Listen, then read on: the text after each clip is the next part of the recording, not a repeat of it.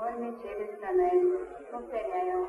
Проход на пятую платформу, по четвертой платформе через тоннель.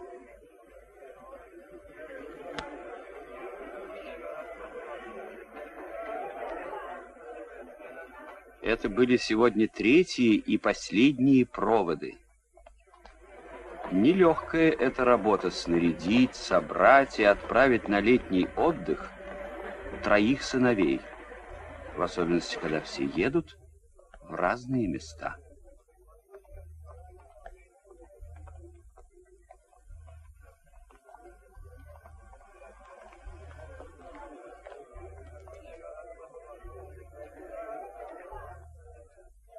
Теперь папа Комаров совершенно спокоен.